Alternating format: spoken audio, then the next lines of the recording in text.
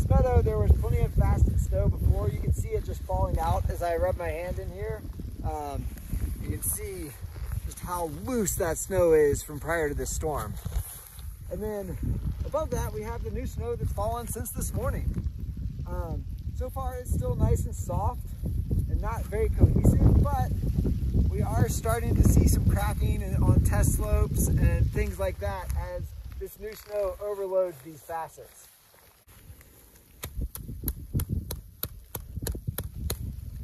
You can see that shift where the, the facets broke and collapsed and this whole thing, the fracture then propagated across from where my shovel was in those facets um, all the way across my column.